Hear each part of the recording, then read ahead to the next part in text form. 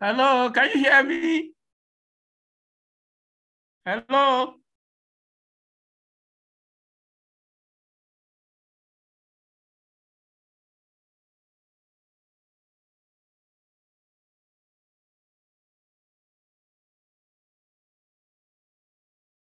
Hello, can you hear me? We can hear you, sir. Okay, thank you.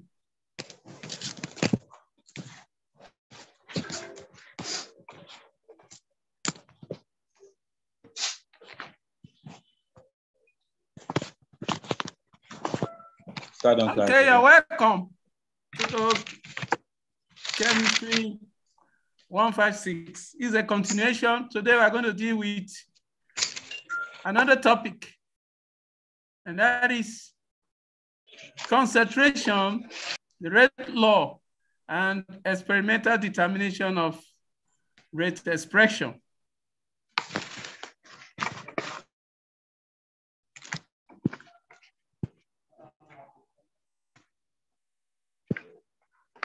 Okay. Concentration is one of the factors. It's one of the factors that does affect the rate of reaction. The purpose of performing experiments, this kinetic experiment, is to write the rate expression, which is the rate law, and how you can also determine the rate law experimentally. So anytime I'm talking about rate expression, I'm talking also about the rate law or the rate equation.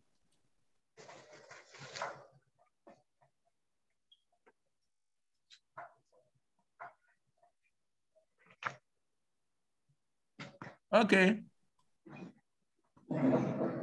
Okay, so we're going to take the factor concentration today. We're going to treat it in detail and uh, also how you can write the rate law. I told you concentration has to do with the number of moles you are looking at, or essentially the number of particles. If you increase the concentration, you increase the number of particles.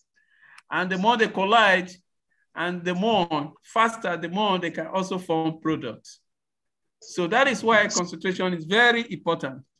It's like the way you are, if you have more money, there is tendency to spend more of that money. So as you increase the concentration, you increase the number of particles, and then they are closer, they can react and give you more of the product. So we're going to look at the, uh, we're going to look at the factor concentration. And then what are you expected to The objective of this unit essentially is unit two. In this unit, you will learn more on how to write the rate law and use it to predict the speed of mm-hmm. chemical reactions. And so if you say concentration does affect the rate of reaction, how can you use it to explain? So immediately you were able to write the rate law, the rate expression, rate equation, and then you can use it to predict that if I increase the concentration of this reactant, obviously I'm going to increase the rate of a chemical reaction and how you can determine the rate law experimentally. And so I'm going to be repeating so many things today. And as I repeat them, I will tell you why I am repeating such phrases or such expression. The rate law, the rate equation, the rate expression, essentially, they mean the same thing when I am using it to explain. And I said the purpose, or one of the reasons why you're doing this kinetic uh, experiment is to write the rate law. It's, from the rate law, you can see very clearly the effect of concentration. Look at the end of this unit. This is unit two. At the end of this unit, you should be able to know the effect of concentration, how concentration does affect the rate of reaction. You're able to determine the order of a reaction. And then you can write the rate law or rate equation or rate expression. And of course, you should be able to do some calculations. So these are some of the things you are expected to know from this unit. At the end of this unit, if you don't know all the things you can see on the screen, it means you didn't understand fully what I taught you. So let's keep going.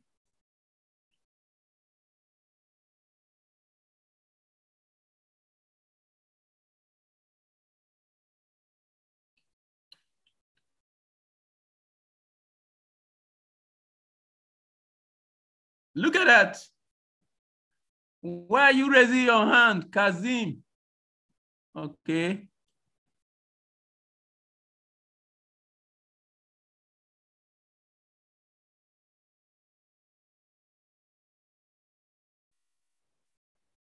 Kaz Kazim.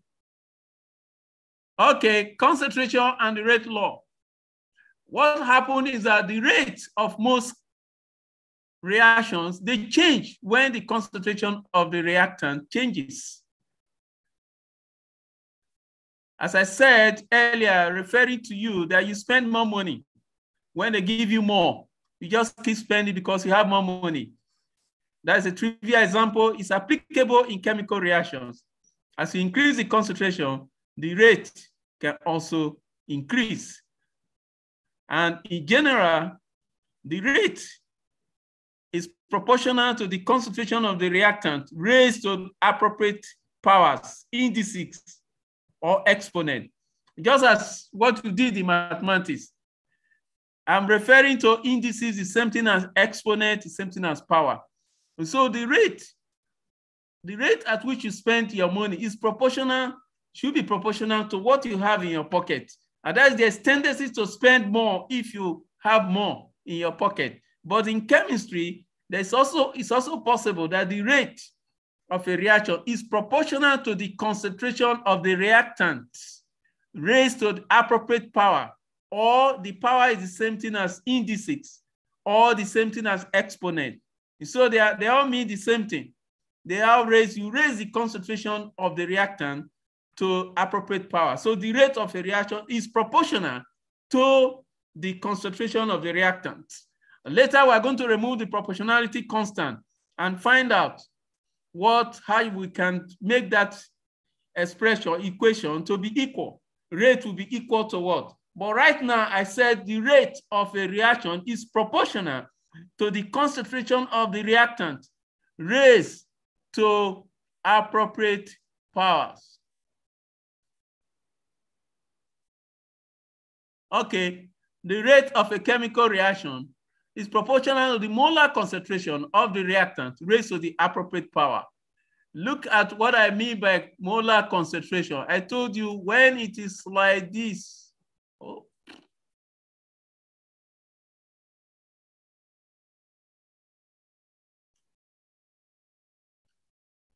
The rate of the rate is proportional to the molar concentration of the reactant raised to the appropriate power. When the square, I told you the square bracket, it stands for mole per dm cube.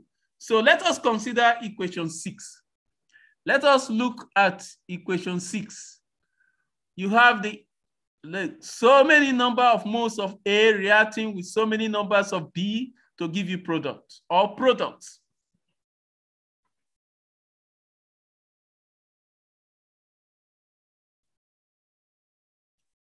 Look at that. This is the number of moles of A.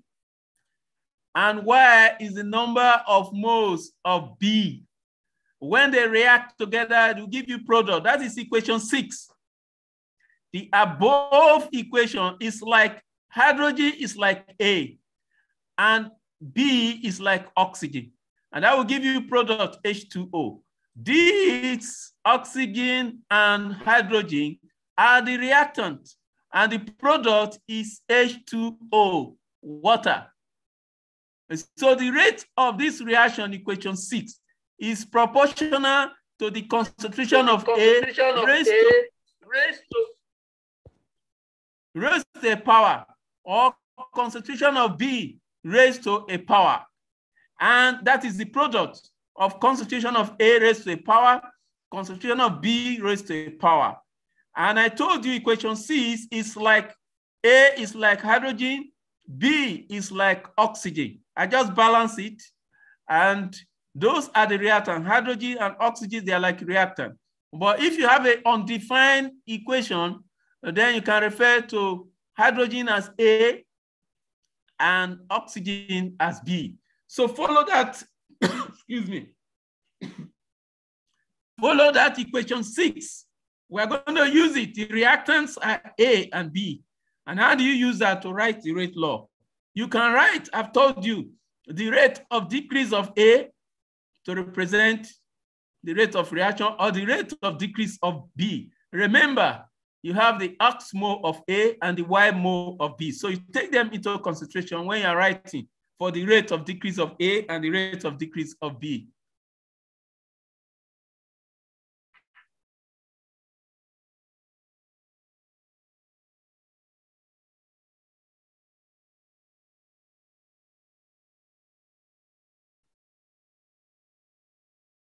Okay, look at that. That is equation six. In equation six, the x and the y are molar coefficients. This x is for A and y is for B, respectively. So how do you write for the rate of decrease of A, as I taught you? The rate of decrease of A. How do you write for that? Look at that. A, the A, look at equation 7A. The A over the T is the rate of decrease of A. Because you have X mole of A, you divide it, it's going to be 1 over X. Remember, A is a reactant. So if A is a reactant, uh, then you, you put a negative sign in front of A. Look at the negative sign here. Look at equation 7A. The whole of this Look at that on your left hand side or your left hand side. It stands for rate. And that is proportional into a raised to a power. Look at this n. The n is the exponent or power. And the m is the exponent or the power of b. So the rate of decrease of a divided by the molar coefficient stands for rate. The whole of this can be represented by capital R. Look at that, capital R, which stands for the whole of left, or RATE, that is rate, is proportional. If you remove the proportionality constant, you put K there. K in equation 7A is a proportionality constant. What do you call like velocity constant or reaction constant? Okay, instead of using A, you can write for B the rate of decrease of B, which I've taught you, is dB over dt. Look at that. But because you have Y more of B, then you divide it by 1 over Y. Remember, B is a, is, is a reactant. So you put negative sign in front of 7B. So you can use 7A or 7B to stand for the rate of a chemical reaction. You can use 7A, you can use 7B. 7A or 7B, they're just explaining to you that the rate of a reaction is equal to the specific rate constant into the molar concentration of A raised to power N or the molar concentration of B raised to power M. It's the same thing, you can use 7A if you like. You can use 7A or you can use 7B.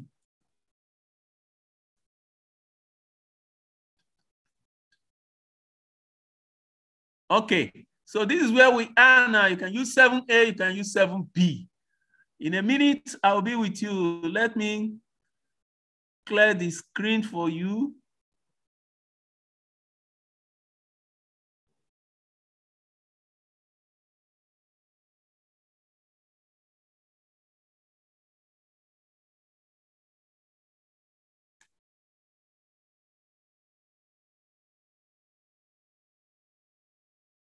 Just a minute.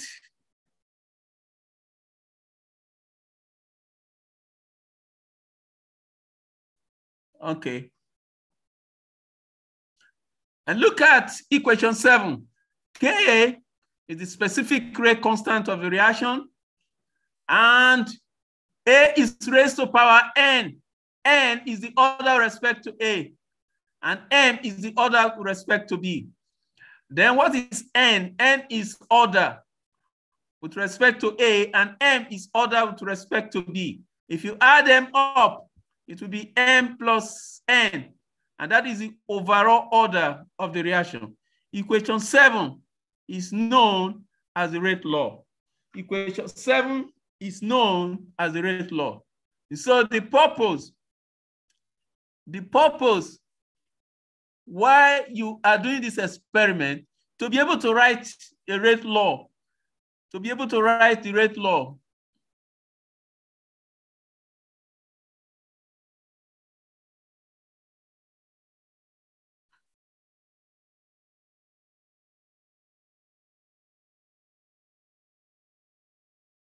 Okay, is to be able to write the rate law. The rate law is an expression for the rate as a function of concentration at a fixed temperature. So equation seven, you can use 7a or 7b to write. You can use 7a or 7b to write the rate expression for the reaction. You can use 7a. If you don't want to use 7a, you can use 7b. And that those expressions, you refer to them as the rate law, rate equation, or rate expression. Anyone, they just, you're talking about the same thing. But those experiments, you have to do experiment to determine the value of n or the value of, of m. Those exponents, you have to determine them experimentally, especially if a reaction is made up of so many steps. Remember, there are factors that affect the rate of reaction. I said concentration, temperature, okay, and uh, concentration, temperature, catalyst, and order that I listed at the beginning, okay? But in this case, we are only looking at the effect of concentration on the rate of chemical reaction, effect of concentration on the rate of chemical reaction. And we're able to establish the rate law. What is rate law? And I'm going to define it in so many ways as we go along. The rate law is the experimental relationship between the rate of the reaction and the concentration of the reactant raised to appropriate power. Or X is an expression that we explain to you clearly how the concentration of the reactant, how they are affecting the rate of a chemical reaction. And the exponent, the power of each of the reactant is the power of each of the reactant is known as the order of that particular reactant. As we go along, we're going to do more. Okay, look at that. The determination of the experimental rate law. And I told you that the purpose of performing this reaction is to be able to write the rate law. If you write the rate law, uh, then you can explain the effect of concentration on the rate of a chemical reaction. Look at most chemical changes consist of so many steps, multi-steps. And each step is known as elementary step. I've explained to you what do you mean by elementary step. As we go along, when I decompose the nitrogen pentoxide, it's made up of elementary steps. It's the totality of these elementary steps that will give you the overall order of the reaction. And then different reactant. If you have A reacting with B, a has its own effect on the formation of the product. B has its own effect. So different reactants can affect the rate of a reaction in different ways. And so you need to find out the effect of each of the, of the reactant on the rate of reaction. Consequently, equation seven cannot be written from the balanced chemical reaction, but has to be determined experimentally. That equation seven you can't write, look at that, go back again, look at that. Equation 7a. You cannot write equation 7a by just looking at the balanced chemical equation. Look at the balanced chemical equation, for example. Look at equation six. Equation six is a, you can take it as balanced chemical equation or look at hydrogen reacting with oxygen. You cannot use this to write the rate expression you have to determine experiment experimentally the order with respect to each. Look at that. N. N is not the same thing as this X. Okay? M is not the same thing as Y. Therefore, there is need for you to perform experiment to determine N and M for each of the reactant. That is the purpose why you should perform experiment. In a situation where you don't need experiment before you can get the value of N and M, when we get there, I will explain to you. But where we are now, you have to determine N and M experimentally. Once you know the value of N and you know the value of M, then you can write the whole of equation seven. That rate, you don't need to write what is on your left again. You can use R-A-T-E or capital R to just represent your left-hand side. Or you can use equation 7b. I've explained to you that n is the order respect to A and m is the order respect to B. The total, the overall order of equation 7a is n plus m. That is the overall order. This is what I've just explained. The exponent n and m are called reaction orders. Okay? And the sum of the order, the sum, if you add it up, m plus n, will give you the overall order of the reaction. So if n is 1 and m is 1, the overall order of that reaction is 1 plus 1. And that will give you the overall order. If you are raising your hand, I will listen to you later. Okay, now let's go ahead. The rate law is an expression for the rate as a function of concentration. So once you can write the rate law, then you can begin to explain the effect of concentration. At a fixed temperature, if you change the temperature at the same time as the concentration, it will not work well. And that is why it is important to use a, a thermostat to keep your temperature constant when you are performing this reaction. And we're going to determine the value of N and the value of M in a short while. Look at that, we're back again to this. How do you determine the rate law? To determine the rate law, you have to determine the value of N and the value of M. How do you do that? We're going to do that in a short while. Look at the what you have on the board on the on the screen. I've used it to explain to you so many times. Why are we doing an experiment to find out the value of N and M? It is because reactions are complex.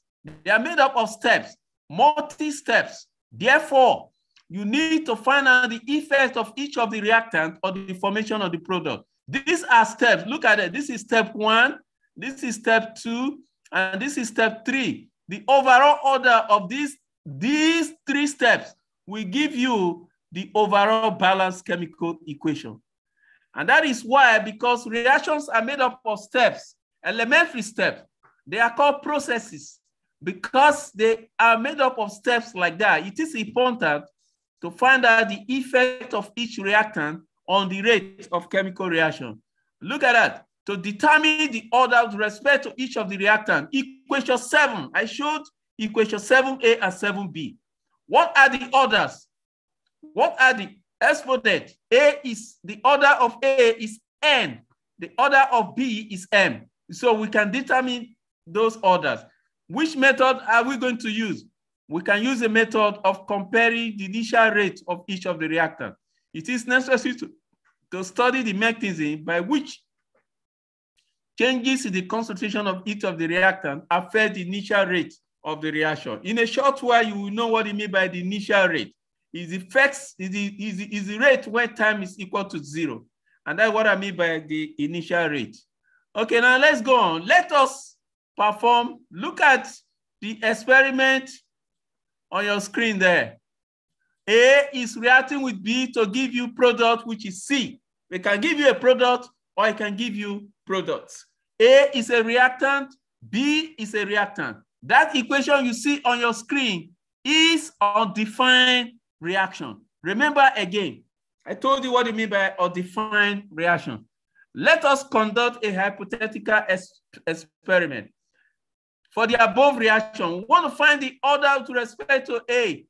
We want to find the order with respect to B. Once we know the order respect to A, we know the order respect to B, then you can write the rate law. If I ask you to write for the rate of decrease of A, you just write minus D into concentration of A over dt.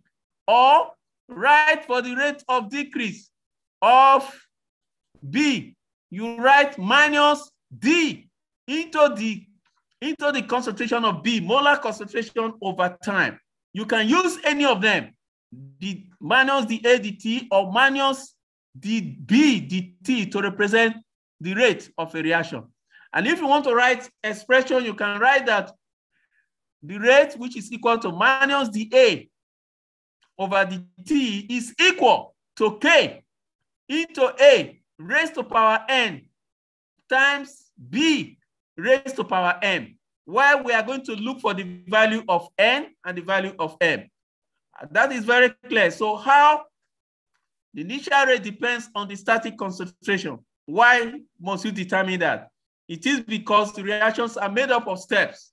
And that is why we want to find out how A is affecting the formation of product, okay? And how B is also affecting the formation of product. So let's go to the experiment and see what happens. Look at that. What are we going to do? We're going to take a no concentration of each of the reactants. So we prepare like a standard solution, stock solution, which they taught you in school, of a no concentration, reactant A and reactant B. Look at what, what do you mean by initial concentration? Anytime you see the molar concentration of A and you have a subscript zero, that means initial concentration of A. And initial concentration of B, make sure you put a subscript zero there. That will give you initial concentration of B. So anytime you see it written like this, it's just an indication that you are referring to the initial concentration. What are we going to do? You keep every other factor constant, except concentration. You want to monitor the effect of concentration on the rate of the reaction. You keep temperature constant. If you don't keep the temperature constant, it means you are looking at two variables and you will not be able to control them effectively. So only concentration is changing. Temperature is constant. That is why you have a thermostat. If you look at your deep freezer at home or your fridge, it will work for some time. Then after it will, it will cool the to a certain temperature. Then it will trigger off because you have a thermostat there. So you use a kind of thermostat to keep the temperature of the reaction constant. And then while you are changing the concentration. Now we have reactant A and B. What are we going to do to A and B? At any time, I'm going to change the concentration of only one of them, and I keep the other one constant. After I have seen the effect of A, and then I will keep A constant, I change the concentration of B, but I will keep the temperature constant. What do I do? I will take a known amount of A, a solution, a known volume of it, of a standard solution of A. What do I do? I will add it to a known solution of B. You know the volume of B. And then you start your stopwatch. You make sure you monitor your, the time. You allow A to react with B. Remember, we are dealing with undefined reaction. If I want to define it, I will say oxygen is reacting with hydrogen.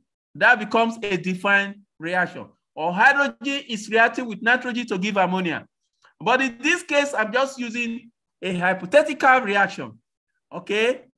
That I represent oxygen by using A, letter A. And sorry, oxygen will be letter B and uh, hydrogen, and that is A to give you product, which is H2O.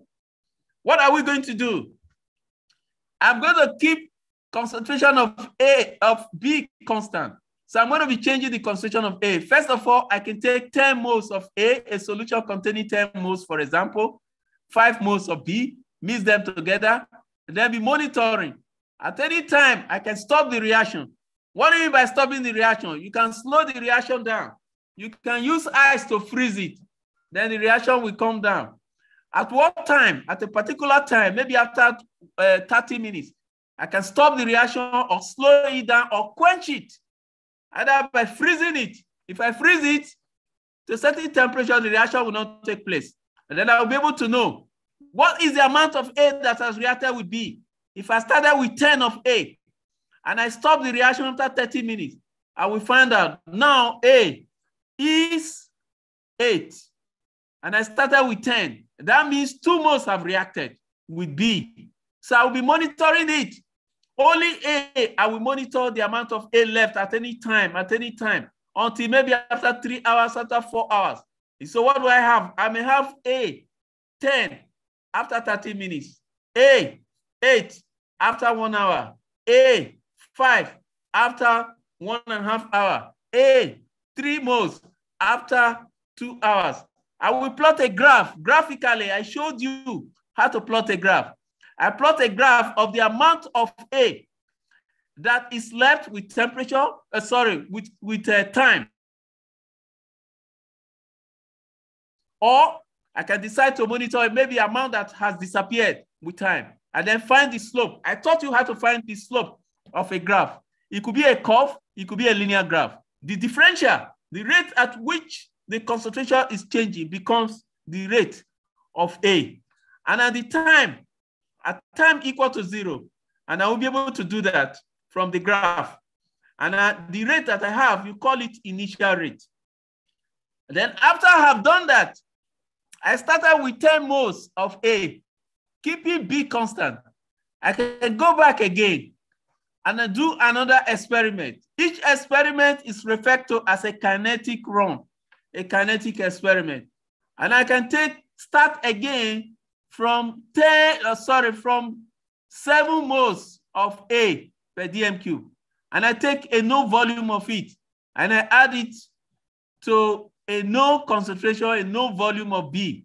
Remember, I did one which I started with 10 moles of A. This experiment I'm going to do again, I can start with seven moles of A. I can keep B constant. And I run it again, I plot a graph. In other words, after about 30 minutes again, I will know the amount of A that is left.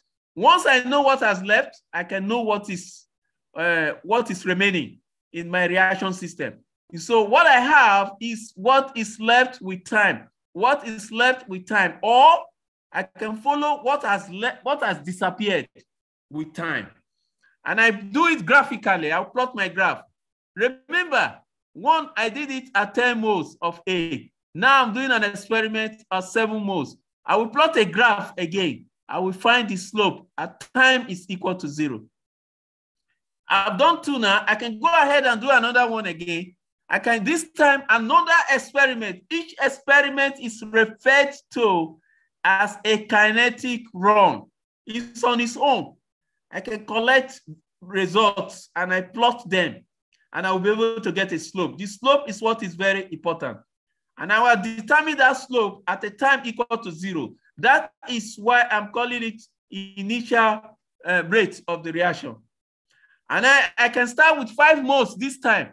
And I take another run again, collect results, concentration that is remaining and at time. And when I'm satisfied with that experiment, I can run it maybe for three hours or for four hours. I plot a graph. I find another slope. So I have three. Now I can go and do another one, the fourth one, in which I can start with two moles again. But I'm keeping B. I, I can keep B constant throughout while I'm doing this particular experiment. And I will know how A is affecting the rate of formation of the product. When I'm done with A, with maybe three or four experiments, I can go back again and start with B, keeping A constant. What I did to A, I can do it to B. And I will be able to know the effect of B, how it does affect the rate of chemical reaction. After I have done that, when I plot my graph, I will be able to determine the value of N and the value of M. That is how the experiment is. It is at the end, when I know the value of N and the value of M, I can write the rate law, rate equation, rate expression. Remember, I said rate equation, rate law, rate expression, they mean the same thing. Now let's go how we'll be able to do that. Okay,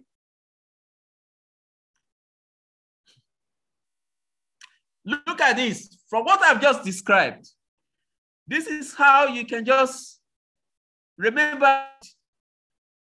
If you compare, I'm going to compare the initial rates. What do you by initial? I did one experiment. I used 10 moles for A. I did another one, I used seven moles. I did another one, I used four moles, okay?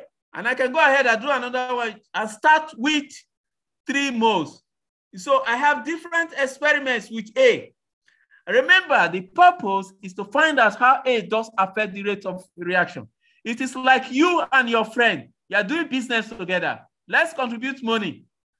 What is your friend contributing to the amount that you are going to use to set up the business? What, is, what are you contributing to the amount that can be used to set up the business?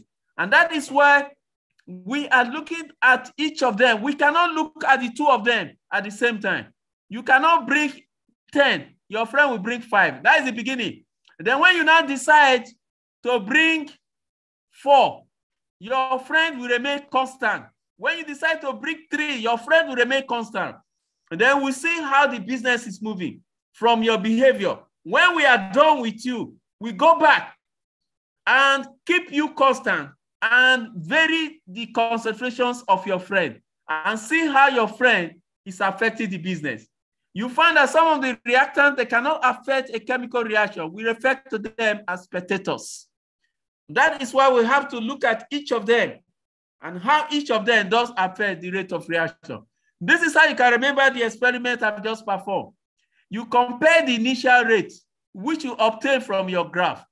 If there is no change in the rate, you refer to the order, the exponent with respect to A as zero. What I mean is this, if you use seven more, 10 moles of A to start the experiment, keeping B constant, then you change again. Then you now decide to use five moles to start the experiment with A. And you find out that the rate of the reaction is the same thing. It means the order with respect to A is zero. It's like this. Let me give you a trivial example so that I can understand. If I give you 10 naira, go and spend it. Use, used only two minutes to spend it. Okay? If if uh, I give you, okay, let me leave that, that particular example. You may not be able to catch it very easily. What I'm saying is that whether you start with 10 moles, you start with seven moles, you start with five moles, the rate of the reaction with respect to A is going to be the same thing. Therefore, the order respect to A is zero. But look at that. If the rate of the reaction is double, if you double the speed, the speed is double. The velocity is double. When you double the concentration, then the order with respect to A is one. Just take note of this point. Later, you're going to find out whether it can be one or can be greater than one. Remember the first one. If you change the concentration and the order did not change, it means the if you change the concentration and the velocity did not change, it means the order to respect to that reactant is zero. In other words, the rate of reaction is independent of time and also independent of concentration. Look at this second one. If you double the concentration, you started with 10 moles of A. If you double it and it becomes 20 moles of A, and the and again, if the rate is double when the initial concentration of A is also double, then the order respect to A is one. That if you double the concentration and the rate is also doubled, it means the order with respect to that particular species is one. Look at another one. Three things that you should remember.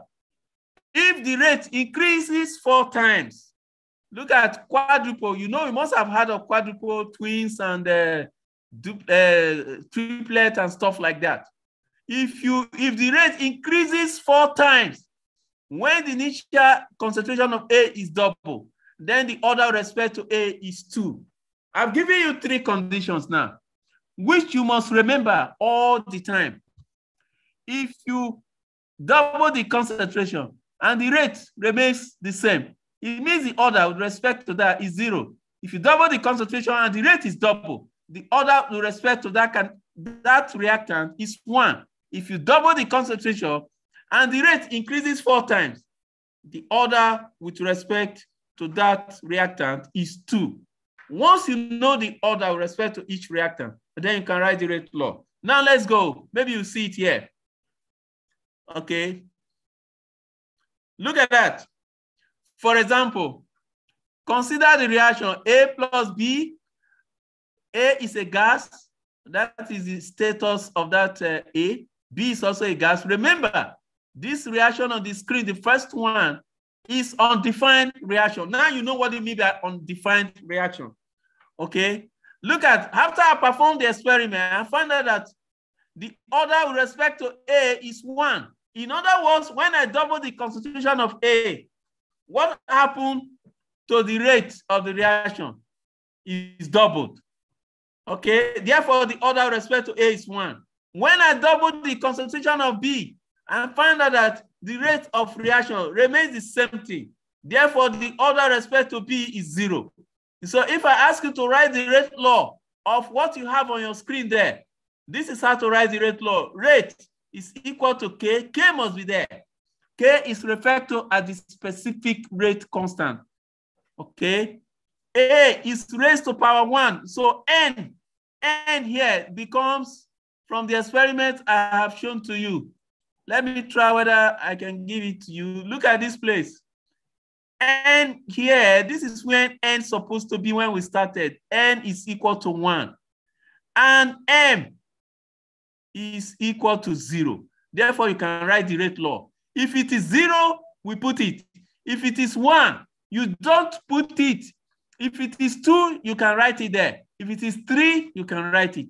If it is 0.5, you can write it. If it is three over two, you can write it. But if it is one, do not write it, just leave it there. Everyone who can understand the rate expression, we know that you have one there. But if it is zero, I will put it there. Look at one. I find out that the order respect to A is one. The order respect to B is zero. And I put zero there. And where you have one, I did not put it. So anytime you didn't see anything there, there's something there which is equal to one. What is the overall order from what you have here? I told you the overall order is the sum of n, n plus what? Plus m. Look at n is 1 and m is 0. So the overall order of this reaction is 1. The order respect to A is 1. The order with respect to B is 0. If they ask you what is the order with respect to B is 0. Remember, you can write it like this. K. If you do if you're familiar with, or you can remember your maths, you will know A. Look at that. You can write it like this and put A in there. You know the meaning of this bracket is smaller. Why did I remove this one? Look at that. Any number raised to power zero is what? Is one. A number raised to power zero is one. So if I write it like this, is the same thing as this you can decide to remove the B because B is a spectator. Because when I double the concentration of B, it remains the same thing. That means the order with respect to A to B is zero. When I double the concentration of A, the rate was also double. Therefore, the order with respect to A is one. Now let's go on.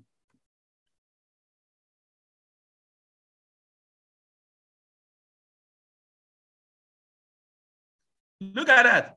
The what I've just written, the last slide I showed to you. Look at this slide. Since the overall order is the sum of the exponent or the sum of the powers or the sum of the indices, we obtain that the order respect to A is one and the order respect to B is zero. Therefore, the overall order is one. So you know how to get order. You know how to write uh, uh, rate law right now. And I've defined the rate law. It's a function of the concentration of the reactant raised to the appropriate power. What are those powers? Those are what you call exponent indices. And then how do you get them? You have to do experiment. And I'm going to show you a very good experiment in a short while if we get there today. Look at that. That is the experiment on the screen. Let me see if I can make it wider for you. Okay, look at what you have on the screen. Look at, if you understand this screen you have on the, if you understand what you have on this uh, screen, then you'll be able to find out. let me see how I can uh, remove it. Okay.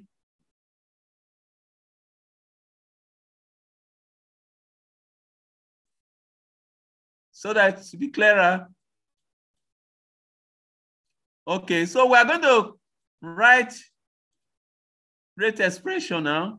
So we're going to, okay, that is good. Look at what you have there. For a hypothetical reaction in which B is reacting with C to form D, look at B. B is a reactant, C is a reactant, and D is a product. So if I write, ask you to write for the rate of decrease of B, you write minus is one more of B plus one more of C. So you write minus D into the B over the T. You put a minus sign in front of it because it's a reactant. If I ask you to write for the rate of decrease of C, you write minus D into C over dt. And that you can use any of them to represent the rate of the reaction. What about the product? Plus D, small d, lowercase of d into capital D over the time. Look, I want to perform experiment. The reactants are B and C. And I want to write the rate law. I can write that the rate of this reaction is equal to K. What is K? K is the specific rate constant. B raised to power N times C raised to power N. That would be the rate of reaction. What am I doing? Let me put it down very clearly for you. Look at that. The rate of this reaction is like this, minus D into the molar concentration of B. That is the rate of decrease of B. B over what? Over the small time D T. Okay. And that is equal. You say it is equal. Equal to K. This is K into A. Oh, sorry. Into B. Raised to what? Raised to the appropriate power. What is the appropriate power? You don't know it. You want to find out. I can put N, for example. Then the product of that into C. Okay, you can put M as the power. And then what is the order respect to B is N. What is the power respect to C is M. So this is the law. So we're going to do experiment because it is made up of steps, multi-steps. We're going to do experiment to find out the effect of B, how B does affect the formation of D, and how C does affect the formation of D. Look at the product. The product is the rate of formation of D. And that is, I'm going to just the way, see the way zero, experiment one. I'm going to take 0.15 molar of B. This is what I've just described for you using A, using 10 moles of A. I'm going to take it. When I take it, I will take enough amount of C, 0.75 molar. I mix them, and then I find out the rates. This time, I'm not going to monitor B or C. I just want to uh, monitor D, amount of D that was formed. I told you you can monitor the reactant or you can monitor the product. So I'm going to use product to explain to you here. The rate of formation of the product. Look at, and that is, if you if your friend you bring 0.075, and then you will bring 0.15, you mix them together, you monitor how the whatever you are forming, which is D. And I was able to form to find out that 3.5 times 10 to minus 3 mole per DMQ per minute was formed. This is the amount that was formed per minute. I am using product now. I have used reactant to explain to you, but this time I'm using product. Remember the rate of reaction is equal to the concentration of only the reactant raised to the appropriate power. Product is not there. But this time I'm monitoring how much of the product did you form. And so I now move to another experiment. When I'm through with this and I've determined I can get it from initial plot of the formation of D from times equal to zero. Okay, and I find the slope and I'll be able to get, this is my slope. And then I moved another experiment. I finished this. I told you this. Look at the second experiment. Let me go to third experiment. Just follow me. Let me skip this so that I can understand. Let me go to experiment three. Look at three. I move from one to three. What did I do when I got to three? I kept the concentration of B constant. Look at that. Look at experiment one and experiment three. I kept the concentration of B constant. Look at experiment one for C. What did I do when I got to three? I double the concentration of C. From here to here, I kept B constant and I double C. What did I do when I double? Look at our amount I formed per minute. It's twice, 3.5 times 2. It will give you 7.0. It's double. So from what I've just taught you now, what is the order with respect to C? I kept B constant, 0.15, 0.15, but C, 0.075, and I double times 2, 0.157. Look at what I got. The concentration, the rate rather, is doubled. So what is the meaning of that? From what I just taught you now, what is the order respect to C? Then I said if you double the concentration and the rate is double, the order with respect to that reactant is one. And then let's take another uh, example of B. Now let's look at B. We're going to keep C constant and vary the concentration of B. You, you must keep one constant. You are comparing like two experiments. I've used experiment one and experiment three to look at C. And I'm going to look at B now. Let me clear the screen so that let me clear, clear the screen so that uh, you'll be able to see it clearly. What am I going to do now? I'm going to keep C constant. How do I keep C constant? Now look this way.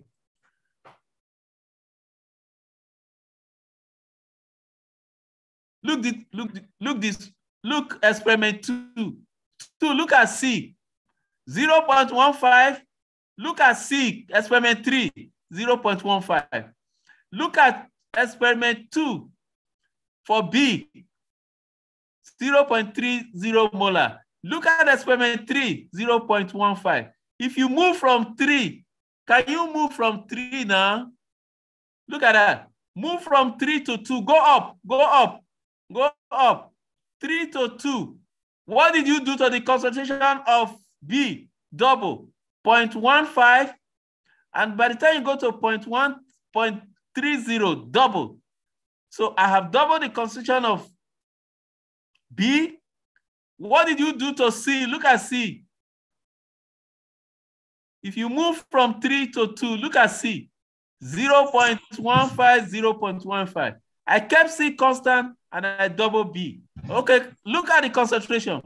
As you go up, 7.0 times 10 to minus 3 times 2. Then when you get here, look at it, it will give you 1.40 times 10 minus 2. You've doubled that. If you double the concentration, 3 to 2, I double B. 3 to 2, I kept C constant. 3 to 2, I double the concentration of, of B. If you double the concentration of B and you double the concentration of the rate rather of, of, uh, of B, what is that supposed to mean? It means the order with respect to B is one. Let me repeat again. If you double the concentration and the of that particular reactant and the rate is double, the order with respect to that particular species is one. If you double the concentration and the rate increases four times, it means the order with respect to that species is two. If you double the concentration and the rate remains the same thing, the order with that particular species reactant is zero. So once you know the order, then you can write rate law for a particular reaction. Okay. Now you can write so many uh, rate laws now and see what happens. Look at that.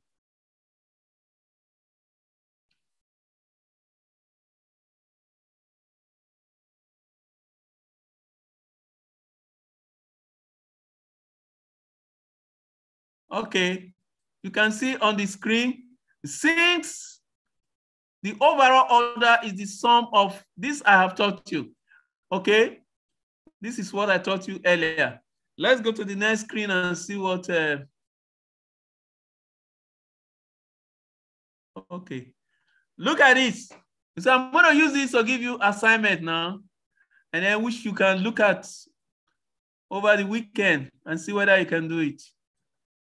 But if you are very smart, you'll be able to pick it. Let me clean the screen for you so that you can see clearly. I'm going to do experiment now. In this case, I have three reactants.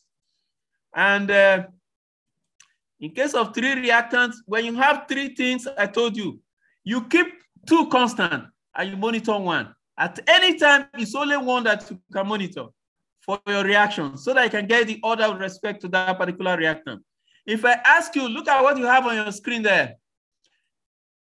If I ask you to write the rate law for this reaction, look at that. One mole, which kind of reaction it is? This is the oxidation of bromate, sorry, oxidation of bromide by bromate in aqueous system to give you bromine water.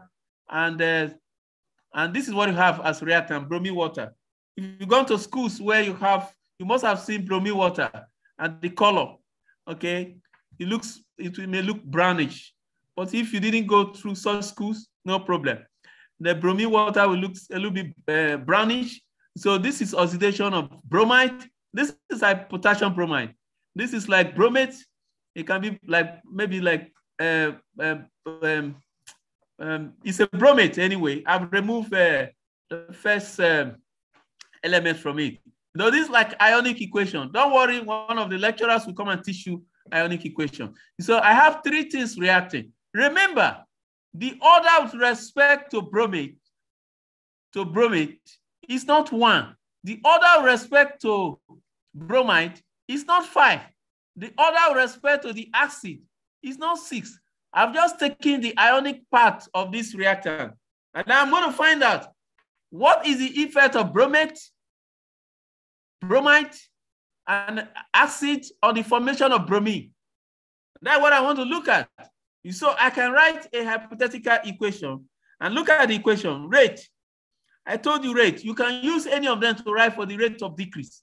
Rate of decrease, rate of decrease of each of them that will stand for this rate, capital. Look at the lower part of that table.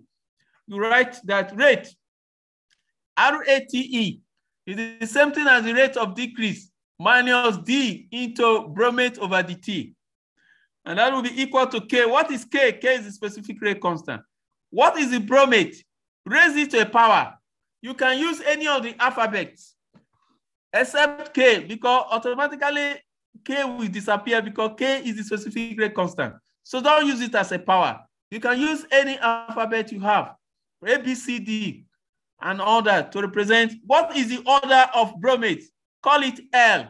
What is the order of bromide? Call it M. What is the order of the acid? Call it N. It is because you do not know L. You do not know the value of M. You do not know the value of N. But in a short while, you are going to find out. I will just use one to explain to you. Look at the relative initial rate of formation of bromine. I have put it there. One, four, eight. I remove experiment five. I didn't put values there. If I put values, you'll be able to do it. Now, let's go on. I want to find the order with respect to bromate. And the value is L. And that L is the order with respect to bromate. M is the order with respect to bromide. And N is the order with respect to the acidic ions that you have there. So what do I do? I'm going to take, let me take the acid. When I take the acid, I will keep the bromate and the bromide constant. And I'll be able to find how the acid does affect the rate of formation of bromine. And am I going to do that? Let's go. Look at experiment one. Let me take a value that can, look at it. Experiment one, one. Look at one. What did I do to the acid? I took 0.03 molar of the acid of a known volume and I added it to 0.25 of the bromide and I added 0.05 molar of a no volume of, of this kind of concentration. Remember the value of this that I taught to you. Look at up, it's the smaller concentration. And I add all of them. And I plotted a graph. It depends whether I'm monitoring the formation of bromine. Look at what I put here. Initial rate of formation of bromine. And I got something here. And I just call it one. It's something like this. One times, just give me few more minutes to finish, times 10 raised to, my, to maybe raised to power 3 more per dmq. That is like the concentration. But I've used the lowest to divide all of them. Okay, what do I do? I will keep this constant. I'll keep this constant. And then by the time I move from here, look at this. I kept experiment two, I kept this constant. I go to oh, bromide, I kept this constant. Then by the time I go to the acid, I doubled it, 0.3 times 2, 0.6. When I did that, I found out that the rate of formation of bromine has increased four times. What is that supposed to mean? Quadruple. It means the order with respect to the acid is what? Is two. That's what I taught you today. When I double the concentration of the acid, the rate of formation of the bromine increased four times. But I kept this constant and I kept this constant. What do I do again? Look at what I'm going to do. I have, so I know the order. The order with respect to the acid is equal to two. And then how do I find the order with respect to bromate? Look at that. I want to, this is bromate. How do I find the order with respect to bromate? It is very easy. Look at that. Bromate. I will take experiment one and I will take experiment three. From experiment one to experiment three, what did I do? Experiment one to experiment, look at one is 0.05. By the time I will take one and three, because I want to see the effect of bromate. But when I go to the, the bromide, look at that. I will keep it constant, 0.25, 0.25. But look at how, how much bromine was formed. Look at that. Oh, oh, oh, okay, okay, okay, okay, okay. There's something missing. Okay, look at this. Let me let me take it this way. I'll go over that again. Look at take experiment two and experiment three. Take experiment two and experiment three. Look at experiment two and experiment three. 0.05 and 0.10. So I doubled it. Look at this one, 0.25, 0.25. Look at the acid, 0.0, 0.60, 0.60. Look at that. I kept this constant and I kept this constant. And I will be able to find the order with respect to bromate. 0.05, 0.10. From, from 2 to 3 for bromate, I double. Look at how it increases. Point 4 to 8 is 4 doubled. If you double 4, what do you have? 8. So if you double the rate, what is the order with respect to bromate? I told you if you double the concentration and you double the rate, what is the order with respect to bromate? One. And so I have found two for you now. For acid, it is two. For the bromate, it is one. And so when you come here, you've just discovered that for bromate, L is equal to one. You remove the one L and put one there. You don't write the one there. Just leave it. Everybody will know it is one. And then you go to the hydrogen ion. You remove the N and then you write two here. Remember, this L is going to be one. Then for the, the bromide, look at the values. I'm not giving you values. And I'm going to give this one to you as a test. So if I put values here, you can solve it. Right now, there are no values there. And then you cannot solve it. So what did we do today? I've been able to explain to you okay, what the effect of concentration, and I'll be able to explain to you why you should write a rate law. What is a rate law? And I did say is the a rate law is the experimental relationship between the rate of the reaction and the concentration of the reactant raised to appropriate power. And how can we write the rate law? Look at that. This is what I have been solving for you all along. Look at what I've just done. This is the mathematics. And this evening, I'm going to upload these lectures so you can download tonight and then you can see the details. If you don't understand, you can ask anybody. We can, uh, your, some of your classmates, are actually picking it. This is how I was able to solve it. And I will take experiment one, and I take another experiment and take all the concentration. What I was doing was very clear. And that is, I can cancel this, I can cancel this, I can cancel this, cancel this, and this will be left. And that is what I have. Mathematically, one over four is one over two raised to power two. And this expression that is in there mathematically, if you don't know this math, just ask those who do math. They will explain it to you. And that is the same thing as one over two raised to power n. What is the value of n? The value of n is equal to two. And that's how I was able to get two for the one of the acid. And so that is how to calculate the rate law and how you have to, um, uh, to calculate the exponent by doing experiment. Later, we will look at elementary equations, how you can predict the order of a reaction without doing experiment. That is a different kind of approach. How you can get the exponent, how you can get the order respect to each of the reactants. Once I declare that a particular reaction is an elementary process. So this is where I will, I will stop and I'm going to upload it, what I taught you this evening. And then you can look at it, try and get to the platform and download and read through. If you don't understand, you can always let us know. For those of you who are raising your hands, and I don't have uh, no time again for questions, but just keep reading it. I will continue from there next week. How you can write the rate law from the slowest step of a chemical reaction.